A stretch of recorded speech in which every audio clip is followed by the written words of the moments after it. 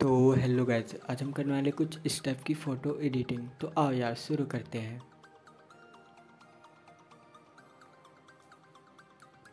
तो आपको सबसे पहले पिक्सार्ट एप्लीकेशन को ओपन कर लेना है। ओपन कर लेने के बाद आपको जाना है ये बैकग्राउंड वाले टूल्स में और यहाँ से आपको सिलेक्ट कर लेना है white background white background select कर लेने के बाद आपको जाना है टूल्स वाले ऑप्शन पे और क्रॉप वाले ऑप्शन पे जाने के बाद आपको प्रोटेक्ट मोड में क्रॉप कर लेना है फ़ोटो को। बैकग्राउंड को क्रॉप कर लेने के बाद आपको जाना है फिर से टूल्स वाले ऑप्शन पे और यहाँ पे रिसाइज कर देना है।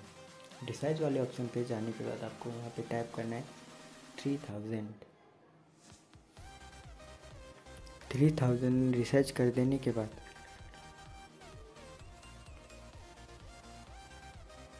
कर लें डन इसके बाद आपको जाना है ड्रॉ वाले टूल्स पे। ड्रॉ वाले टूल्स पे जाने के बाद आपको कर लेना है फ़ोटो को ड्रॉ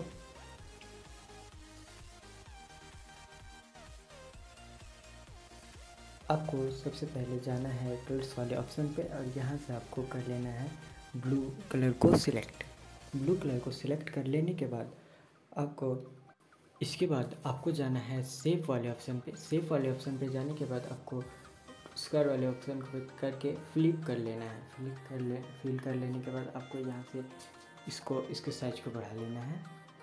ड्रॉ कर लेने के बाद आपको इसको अच्छी तरह से ड्रॉ कर लेना है।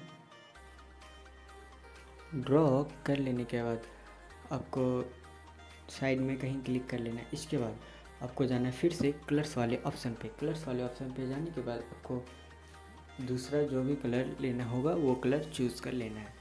चूज़ कर लेने के बाद आपको जाना है लेयर्स वाले ऑप्शन पे। इसके बाद आपको इम्टी लेयर ले लेना है।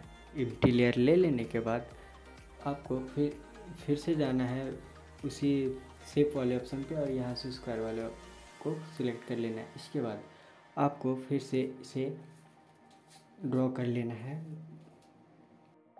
इस फ़ोटो को ड्रॉ कर लेने के बाद आपको जाना है फिर से कलर्स वाले ऑप्शन पे। कलर्स वाले ऑप्शन पे जाने के बाद आपको यहाँ से कर लेना है ब्लैक बैकग्राउंड को चूज़ ब्लैक कलर को चूज़ ब्लैक कलर को चूज़ करने के बाद आपको जाना है फिर से सेव वाले ऑप्शन पे और आपको यहाँ से कर लेना है लाइन वाले टूल्स को सिलेक्ट लाइन वाले टूल्स को सिलेक्ट कर लेने के बाद आपको लाइन का ड्रॉ कर लेना है। इसके बाद आपको जाना है लेयर्स वाले ऑप्शन पे थ्री डॉट में जाके ट्रांसफॉर्म में क्लिक कर देना है।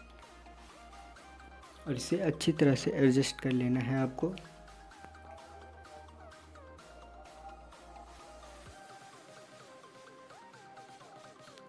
अच्छी तरह से एडजस्ट कर लेने के बाद कर लेना है डन इसकी ऑक्सीविटी को थोड़ा सा घटा लेना है। घटा लेने के बाद आपको जाना है फिर से लेयर्स वाले ऑप्शन पे और एम्टी लेयर ले लेना है। एम्टी लेयर ले लेने के बाद आपको जाना है फिर से शेप वाले ऑप्शन लाइन वाले टूल्स को फिर से सिलेक्ट कर लेना है और आपको फिर से एक लाइन को ड्रॉ कर लेना है। लाइन को ड्रॉ कर लेने के बाद फिर से जाना है आपको थ्री डॉट एंड ट्रांसफ़र इसके बाद इसे अच्छी तरह से ट्रांसफ़र कर लेना है। अच्छी तरह से एडजस्ट कर लेना है आपको।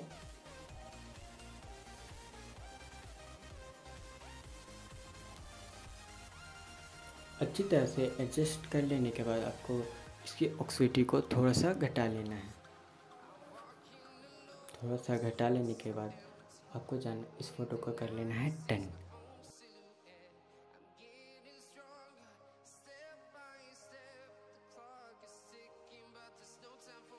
फ़ोटो को डन कर लेने के बाद आपको जाना है एड फ़ोटो वाले ऑप्शन पे। एड फ़ोटो वाले ऑप्शन पे जाने के बाद, इसके बाद आपको कर लेना इंस्टाग्राम वाला पीएनजी को ऐड। ऐड कर लेने के बाद इसे अच्छी तरह से एडजस्ट कर लेना है।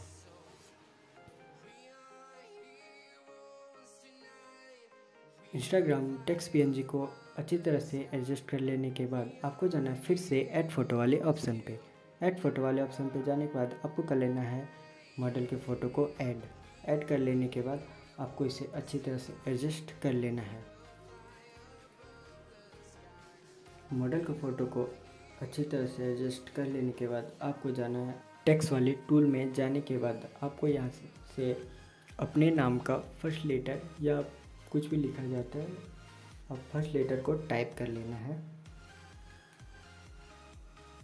टाइप कर लेने के बाद आपको अब आपको अपने तरह से, आपको अपनी तरह से फ़ॉन्ट को सिलेक्ट कर लेना है। आपको जो फ़ॉन्ट अच्छा लगे, वो फ़ॉन्ट को आप सिलेक्ट कर सकते हैं। फ़ॉन्ट सिलेक्ट कर लेने के बाद आपको जाना है कलर्स वाले ऑप्शन पे और आपको ब्लैक कलर को चूज़ कर लेना है। ब्लैक कलर को चूज़ कर लेने के बाद आपको इसे अच्छी तरह से एडजस्ट कर लेना है। आप अपने हिसाब से जो कलर लेना चाहते हैं और इस इस टेक्स स्टॉक को थोड़ा सा बढ़ा लेना है।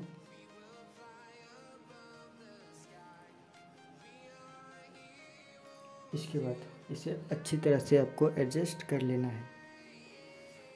एडजस्ट कर लेने के बाद फिर से जाना है आपको टैक्स वाले टूल्स पे, टैक्स वाले टूल्स पे जाने के बाद आपको दूसरा नाम जो लिखा हुआ, लिखना चाहते हो, वो वाले को सिलेक्ट कर लेना है।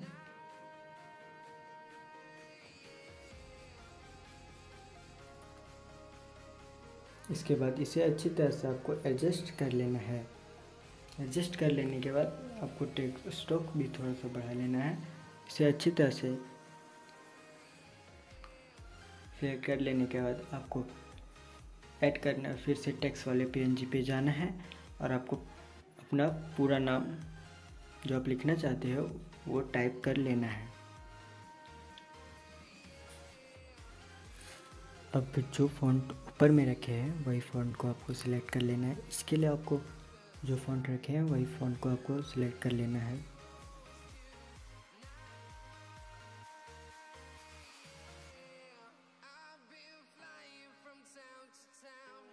सिलेक्ट कर लेने के बाद आपको फिर से जाना है कलर्स वाले ऑप्शन पे और वहाँ से आपको अपने हिसाब से जो कलर आपको लिखना है, वो कलर को चूज़ कर लेना है।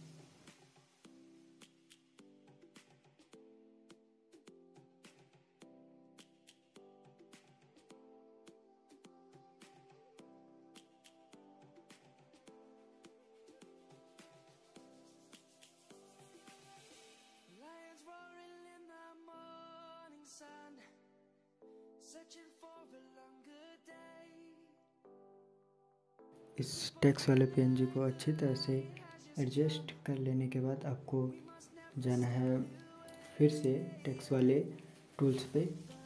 टेक्स वाले टूल्स पे जाने के बाद आपको अपने नाम का सेकंड टैप कर लेना है सर नेम टाइप कर लेना है। इसके बाद आपको इसे अच्छी तरह से एडजस्ट कर लेना है। इसके बाद आपको जाना है कलर्स वाले ऑप्शन पे और अपने हिसाब से आप जो कलर रखना चाहते हैं वो कलर को कर लेना है चूज़